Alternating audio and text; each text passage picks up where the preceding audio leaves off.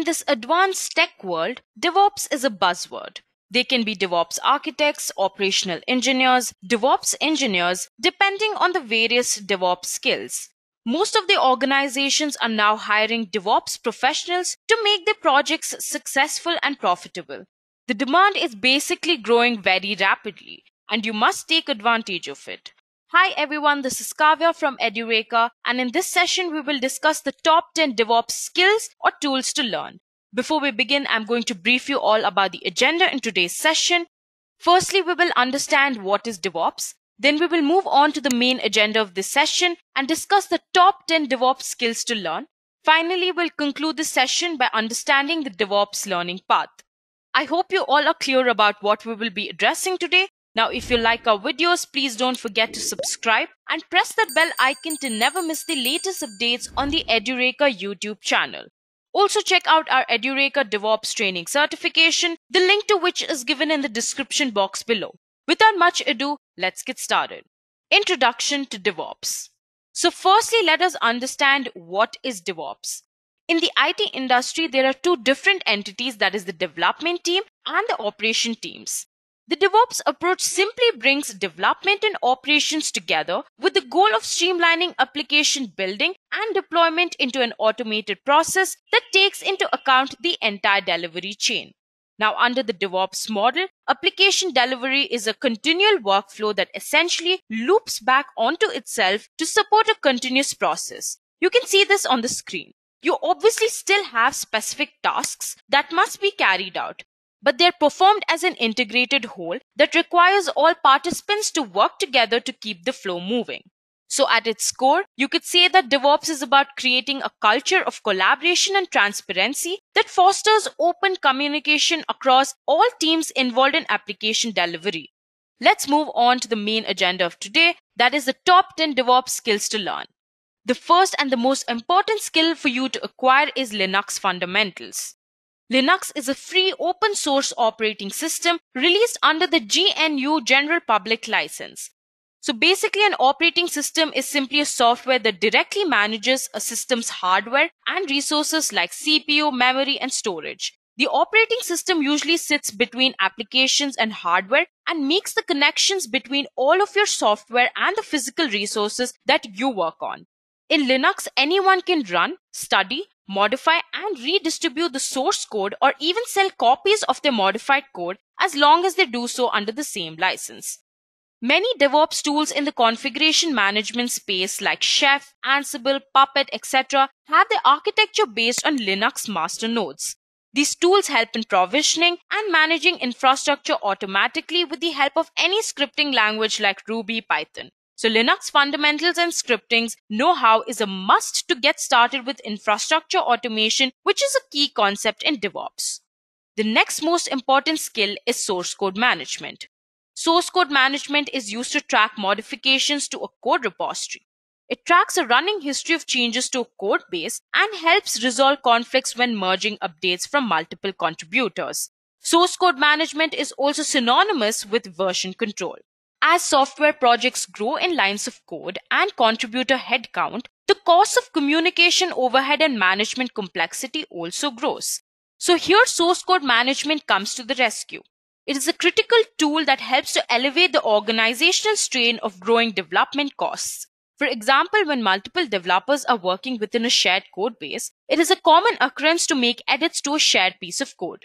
Separate developers may be working on a seemingly isolated feature However, this feature may use a shared code model. Therefore, developer 1 working on feature 1 could make some edits and find out later that developer 2 working on feature 2 has some conflicting edits. Source code management brought version control safeguards to prevent loss of work due to conflict overwriting. By far, the most widely used modern version control system in the world today is Git. Git works by tracking changes from each individual developer and identifying areas of conflict and preventing overwrites. Source code management will then communicate these points of conflict back to the developers so that they can safely review and address. Git is an example of a distributed version control system. In addition to this, Git has been designed with performance, security, and flexibility in mind. Moving to the third most important skill is the continuous integration and continuous delivery. A better understanding of the continuous integration and continuous delivery approaches helps to deliver a high quality product at a faster pace to the clients.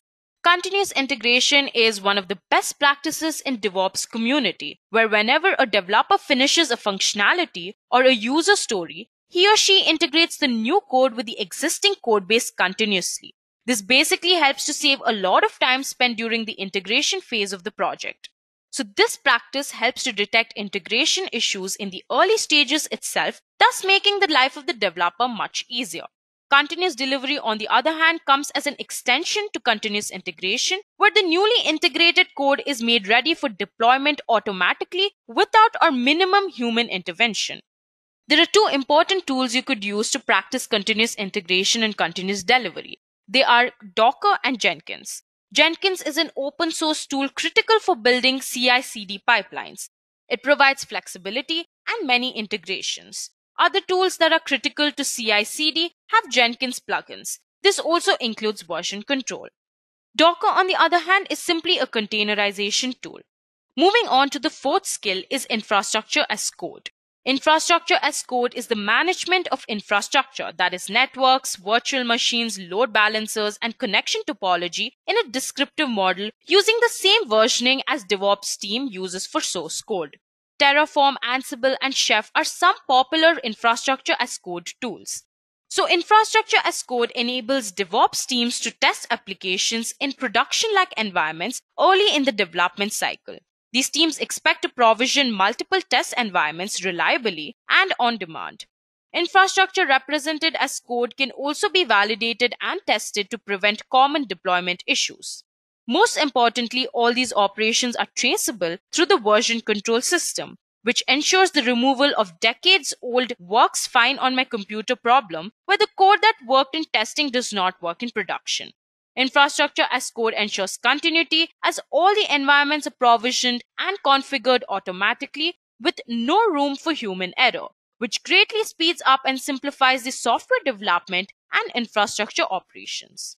For a DevOps engineer, some knowledge of automation tools is extremely important. Automation is key because it allows to reduce the human component, which fosters speed, increases accuracy, improves consistency, and reliability while cutting the amount of errors. Eventually, this results in more rapid and swift, higher quality delivery of value to customers.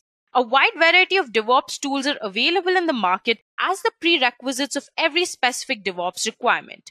Deciding on the right set of tools is an ever growing challenge for the stakeholders. Furthermore, we recommend that a single tool may not be a full fledged solution to a DevOps adoption. The most popular DevOps tools currently in the market are Puppet, Docker, and Jenkins.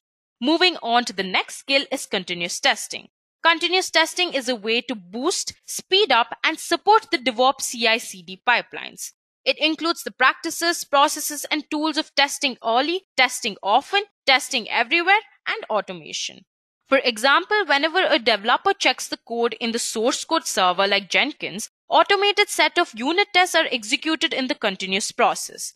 If the tests fail, the build is rejected and the developer is notified. If the build passes the test, it is then deployed to performance, quality assurance servers for exhaustive functional and load tests. The tests are run in parallel, and if these tests pass, the software is eventually deployed into production. The most popular tool for continuous testing is Selenium, it is a suite of different open source software tools used for automated software testing of web applications across various browsers or platforms. Most often used to create robust browser based regression automation suites and tests, Selenium, like Jenkins, has a rich repository of open source tools that are useful for different kinds of automation problems. With support for programming languages like C Sharp, Java, JavaScript, Python, Ruby, .NET, etc., Selenium can be used to write automation scripts that run against most modern web browsers. The next most important skill is containerization. It is basically the process of packaging an application along with its required libraries, frameworks, and configuration files together so that it can run in various computing environments effectively. In simpler terms, containerization is the encapsulation of an application and its required environment. Docker is a platform that provides containerization. It basically allows for packaging of an application and its dependencies into a container, thereby helping ease the development and accelerate the deployment of the software. Containers solve application conflicts between different environments. Indirectly, containers in Docker bring developers and IT operations closer together, making it easier for them to collaborate effectively. Adopting the container workflow provides many customers with the DevOps continuity they have sought but previously had to implement via more complex configuration for release and build pipelines. Containers basically simplify the build or test or deploy pipelines in DevOps. Cloud service knowledge. With time, competition in the software development industry is rapidly increasing, following which all the companies are now trying their best to sophisticate the process. And for this, they are now hugely using various cloud services. So you need to obtain knowledge about different cloud platforms and the services. This is something very important for both DevOps and cloud architect engineers. Some of the major cloud services are Microsoft Azure, Google Cloud, Amazon Web Services, and IBM. Security skills is really important too. DevOps security refers to the discipline and practice of safeguarding the entire DevOps environment, the strategies, policies, processes, and technology.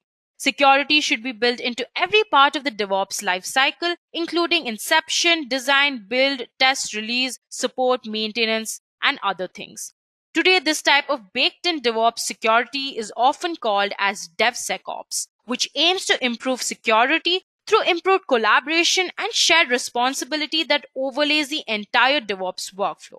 Whether you call it DevOps or DevSecOps, it has always been ideal to include security as an integral part of the entire application lifecycle.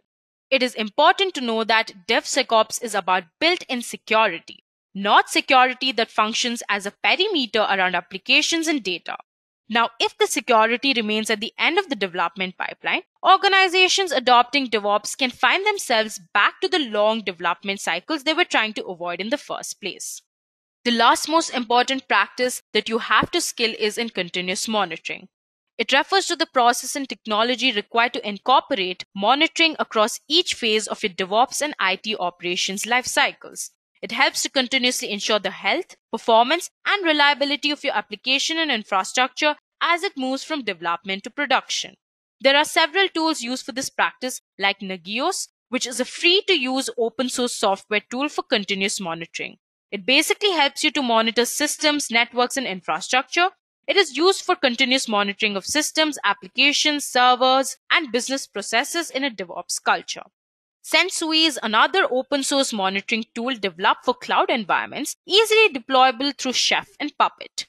New Relic, on the other hand, supports monitoring of PHP, Ruby, Java, Node.js, among other applications, gives insights about real time performance of running applications. Moving on to the next part of the session is DevOps Learning Path. Edureka's DevOps Engineer Masters program will make you proficient in DevOps principles like continuous integration, continuous deployment, continuous monitoring, and continuous delivery using tools like Puppet, Nagios, Chef, Docker, Git, and Jenkins. So, what are you waiting for? Get yourself enrolled today. With this, we come to the end of today's session. I hope you had a great time. Until next time, thank you. I hope you have enjoyed listening to this video. Please be kind enough to like it and you can comment any of your doubts and queries and we will reply them at the earliest. Do look out for more videos in our playlist and subscribe to Edureka channel to learn more. Happy learning!